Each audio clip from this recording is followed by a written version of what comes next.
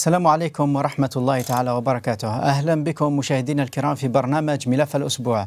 برنامج تتابعونه أمسية كل جمعة من قناة نوميديا تيفي ملف هذا الأسبوع خصصناه للحديث عن الفلاحة الصناعية وإمكانية إنقاذها للاقتصاد الوطني الذي يمر بمرحلة صعبة جراء انخفاض أسعار البترول. فهل ستكون الصناعة الفلاحية الحل السحري لتفادي الأزمة الاقتصادية؟ للحديث أكثر عن هذا الموضوع الموضوع. يسعدنا أن نستضيف في عدد اليوم الخبير الفلاحي الحاج علالي أهلا بك سيدي معنا. شكرا. بارك الله فيك. كما يشاركنا في مناقشة هذا الملف الزميل الصحفي هشام بن عودة أهلا بك هشام أهلا معنا بك شريف زميلي.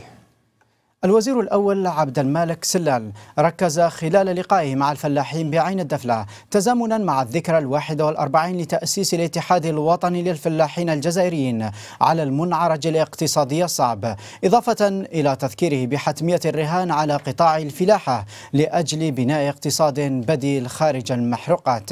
نشاهد التقرير التالي للزميلة كريمة بن عيسى يحيى ونعود. الوزير الأول عبد المالك سلال وعلى هامش إحياء الذكرى الواحد والأربعين للاتحاد العام للعمال الجزائريين أبرز أن الجزائر تراهن على تحقيق انطلاقة نحو اقتصاد بديل عرض مقاربة الحكومة لتطوير القطاع الفلاحي. عصرنة الصناعات الفلاحية ودخولها السوق الأجنبية في ظل توفر الإمكانيات اللازمة أهم القرارات التي وجهها سلال لمهني القطاع. هذا وأكد سلال أن الحل الاقتصادي هو بين أيدي الفلاحين والمستثمرين الكبار في المجال الفلاحي ولن يتحقق ذلك إلا من خلال خدمة الأرض. الوزير الأول عرج أيضا إلى الحديث عن قانون المالية لسنة 2016 الذي اعتبره بالمهم في الوقت الراهن. أهلا بكم من جديد مشاهدينا الكرام. أستاذ جعلالي في البداية أين يمكن تصنيف قطاع الفلاحه في الجزائر سواء التصنيف الرسمي وهل لك أن تمدنا بمقارنة بسيطة عن التصنيف الرسمي والواقع الفعلي لقطاع الفلاحه في الجزائر؟ شكرا. بسم الله والصلاة والسلام على رسول الله. أه اولا نحيي كل مشاهدي القناة آه، نوميديا نيوز. القطاع الفلاحي في الجزائر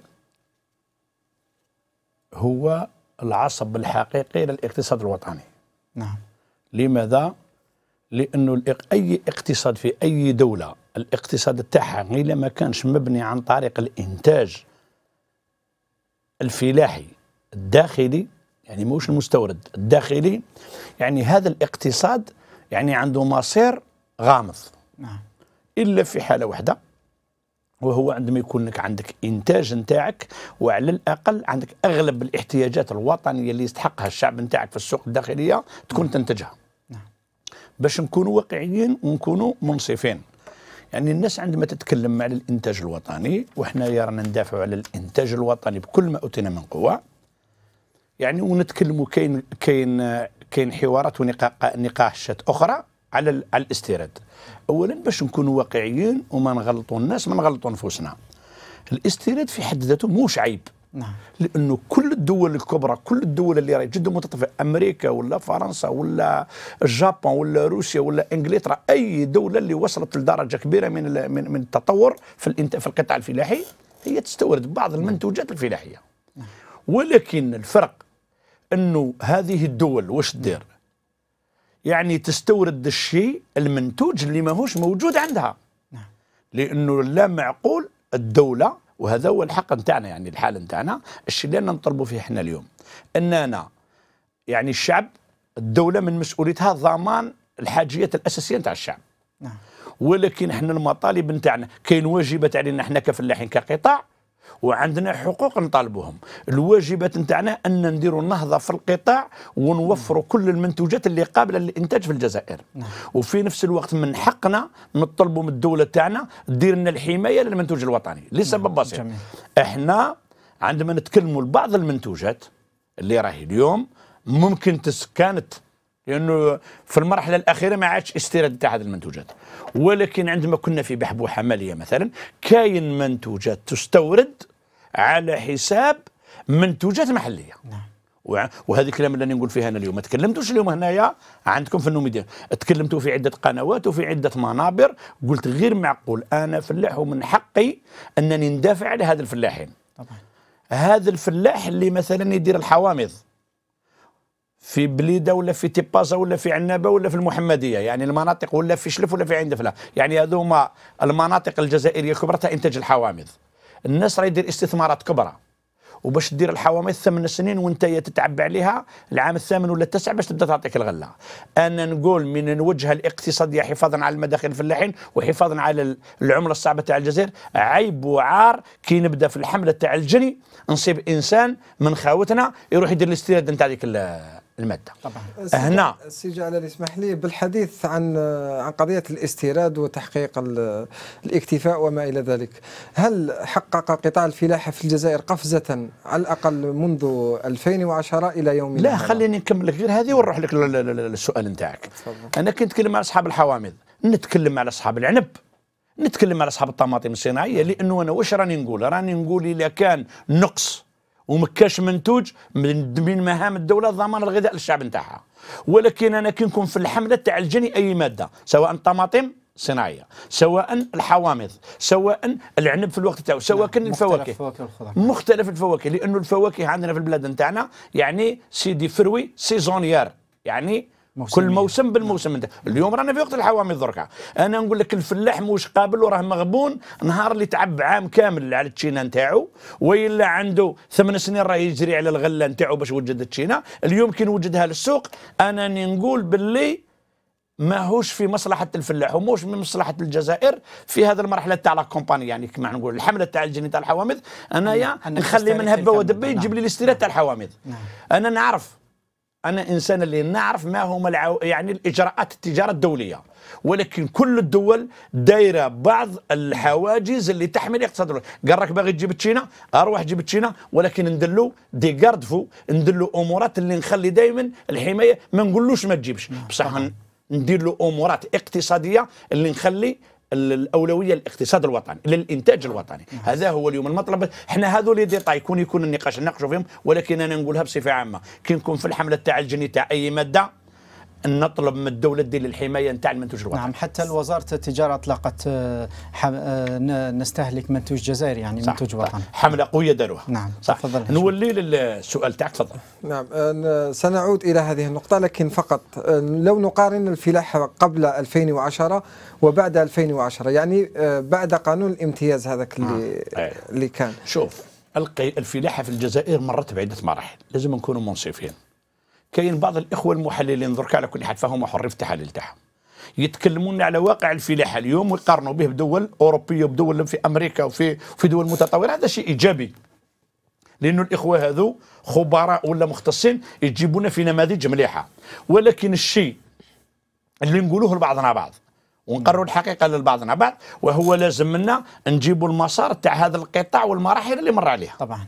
المراحل اللي جيناها من التسير الاشتراكي في بحكم النظام. الواحد من بعد كي نصر الانفتاح في 87 بحكم القانون تاع 87 19 اللي فتح المزارع إلى مجموعات فلاحيه جماعية وفردية يسموها هذاك المعروف بذاك القانون نتاع ماشي قانون الامتياز القانون اللي قبله قانون المنفعة العامة c'est le droit de jouissance نعم. حقوق المنفعة.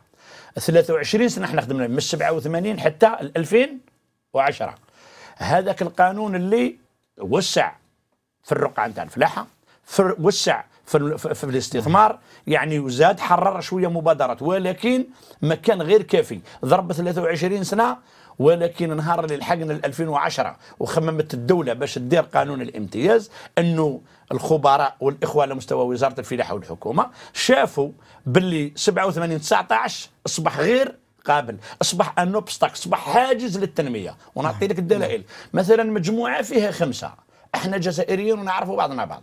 المرة الأولى كنا نخدموا في في مزرعة فيها 50 ولا 100 عامل. نعم. والتس وفيها المدير وفيها المسير وفيها الرئيس المزرعة وكذا وكذا. حلوها وبدأت على شكل مجموعات. des exploitations مستثمرات فلاحيه يعني فردية وجماعية. من بعد كي وصلنا لواحد الوضعية وين ولاو أعضاء المجموعة مش متفاهمين في بعضهم بعض القانون اللي ندار ذاك الوقت يعود لل 87 كان نظام سياسي معين كانت ظروف دولية معينة كان وضع اقتصادي معين. القانون كان على ذاك الوقت. اليوم ذوك الخمسة هما ربعة يخدموا مليح واحد يجبد عليهم ما يعودش خدامة مليحة و bloquاه. يأثر ما هو قابل للشراكة ما هو قابل حتى الحاج. يعني صبحة الأرض نحكي لك قانون 87 19 الأرض كاينة ولكن المبادرة تاع الاستثمار توقفت.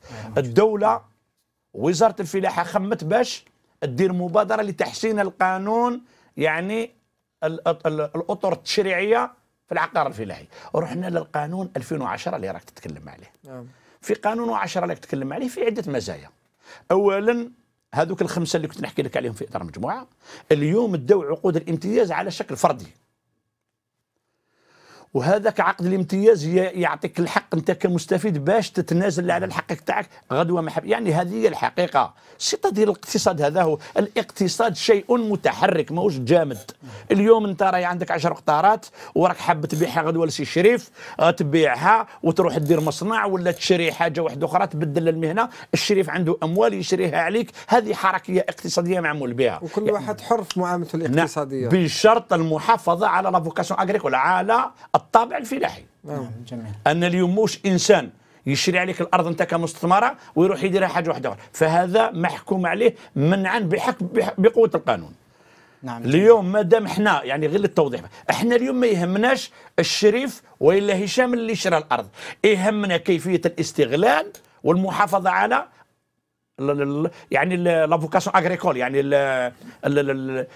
الخصوصية الفلاحية. نعم. صح. هذا القانون فيه ذي المزايا. قلت لك اولا عقود فردية. امتياز نعم. آه، عقود امتياز فردية. 40 سنة متجددة. ثانيا قابلة للتنازل. ثالثا قابلة لخلق شراكة. اليوم الناس اللي كانت مبلوكيه على جالو قانون الامتياز الفلاحي يقدر إنسان عنده ثروة مالية وما عنده حتى علاقة بالفلاحة يعقد شراكة مع الفلاح ذاك اللي عنده الأرض وعنده له فير عنده الخبرة المهنية. لأنه من اليوم باش نكونوا واقعيين ونقولوها لجميع الناس. من المستحيلات التجربة اللي كسبوها الفلاحين بالعرق نتاعهم كاين اللي عنده 20 كاين اللي عنده 50 سنة في هذه تجربة مهنية. هذه تعوض رؤوس الأموال اللي يجيبها إنسان واحد آخر. وهنا القانون سهل قال باللي ندمجوا ما بين الناس اللي. عندها رؤوس الأموال والناس هذو عندهم الثروة عندهم ال- ال- السفر يعني عندهم التجربة المهنية. في الفلاحة وعندهم العقار هل تمستوا يعني نتائج واقعية نتائج على على على الأرضية من خلال قانون الامتياز؟ ها اسمح لي. نعم نعم. درك نقول لك ال- ال- النتائج الملموسه والرهن كان بكري في إطار المجموعات مجموعة فلاحية رقم خمسة كذا وكذا لل- للم- للمزرعة الفلانية. قلت لك اربعه يخدموا الخامس يكون ما يهديهش ربي يروحوا للبنك البنك ما يقبل لهمش حتى يحلوا ال- ال- الحساب. لأنه البنك بكري بالعقد القديم. بالنمط تاع 87 19 يشرط عليك انك لكم خمسة تجوا فيه خمسة. معناتها يدخل واحد في الوسط يخسر. اليوم الناس راهي بالعقد الامتياز يمشي يفتح بنك بس نعم، يفتح جميل. حساب باسمه يمشي يدير القرض الرفيق باسمه وراحوا حتى القروض التحدي باسماواتهم يعني وما زال. لأنه هذا هذا علالي انتظرتم آه، كثيرا لقاء الوزير الأول عبد الملك سلال. هل أتى هذا اللقاء بالجديد في نعم شوف؟ اللقاء تاع الوزير الأول البارح في عين دفلة. يعني الجديد اللي جا به اولا كان صريح. نعم. السيد ما جا ما غلط الناس ما وعد الناس يعني جاء أعطى توجيهات جد صارمه في التوجه الجديد للحكومة. نعم. وش يقول البارح؟ كنا معه في بير ولد خليفة أكد على عدة محاور للاقتصاد الفلاحي القادم وهو المردودية في الهكتار. اليوم وكشت كنا في الحوار معه قال اليوم القطار اللي راه يجيب 550 قطار بطاطا لازم نتحكموا نتحكموا للتكنولوجيا والتجربة العالمية ونلحقوا ل 800 إلى رانا قادرين. يعني لا, لا يعني لازم نستعملوا كل الوسائل المهنية اللي راه عندنا كفلاحين العتاد المتطور الأراضي تنخدم كما ينبغي والجامعات والمعاهد يعني كل الطرق اللي تأدينا باش نحققوا المردود في الهكتار باش نستعمل تكون عندنا أراضي حتى ولو أراضي قليلة ولكن تكون عندها المردود أكثر, أكثر، نعم. هو عندما يتكلم السيد الوزير الأول على المردود في الهكتار كان عنده بعد كبير. بعض الإخوة ربما لأنه يحوس الفلاح اللي يجيب 500 قنطار في القطار تاع البطاطا ويروحوا للسوق. ما يربحش كيما اللي يجيب 700 قنطار. معناتها اللي يجيب 700 قنطار يبيع بسعر جد معقول ولكن يربح. يعني هذا هو النجاعة والمردودية في الهكتار باش تخلي الفلاح يربح مهما كانت وضعية السوق. نعم. وفي نفس الوقت في مساحات جد محدودة ننجموا نلبيو الحاجيات نتاع السوق الداخلية نتاعنا. نعم، يعني جميل. هنا يعطى الناجعة في المردودية في الهكتار. نعم آه، وفي نفس الوقت أكد أكد اليوم كاين وضع رانا نعيشه اسمح لي كلمه كبير. الوضع اللي رانا نعيشه شنو هو اليوم؟ اليوم راه نوفور ما عندناش يد عامله راه أكد الوزير الأول البارح على الاستعانة بالمكننة بالمكننة الفلاحية المختصة. كما نقولوا حنايا لو ماشينيزم سبيسياليزي. لأنه اليوم الفلاح عندما يلحق يقلع البطاطا مثلا نعطيك مثال. اليوم آه راهو يفرح كل ال- المشقة اللي يخدمها الفلاح نهار اللي يلحق باش يقلع البطاطا يصعب في العمال. ونهار اللي يسيب العمال الفلاح باش يقلعوا له ديك البطاطا نتاعو ما يحوش السوق مشعل لأنه الفلاح اصبح اليوم اصير كما نقولوا إحنا اصبح أوطاج يعني كيسيب الخدامة ما عندوش الحق يقول لهم شحال نخلصكم. اخدموا لي برك باش يقلعوا له. اذا ما هو الشيء اللي راه يسلكنا؟ راهم جو آلات جد متطوره باش تعوض ذاك النقص نتاع يطلع الفلاح ولكن هذوك الآلات راهم غاليين بزاف. يعني مثلا آلة اللي تسوى مليار و600 مليون. السيد الوزير الأول البارح واش قال؟ قال نطلب منكم ديروا مجمعات اقتصادية. درك واحد عنده خمس هكتارات ما يشريش آلة تاع مليار و600 وواحد عنده يدير 20 هكتار بطاطا ما يشريش آلة تاع مليار و600 ولكن كي يتلايموا 10 ولا 15 ويديروا مجمع فلاحي. وبكري كانوا يعني كما يقولوا كل الطرق تدي إلى روما. يعني كل وقت وقته اليوم بكري كانوا يسموهم les coopératives agricoles التعاونيات الفلاحية. وما زالوا في بعض المناطق من الوطن التعاونيات الفلاحية. اليوم تسميها المجمعات المصطلح الاقتصادي الجديد.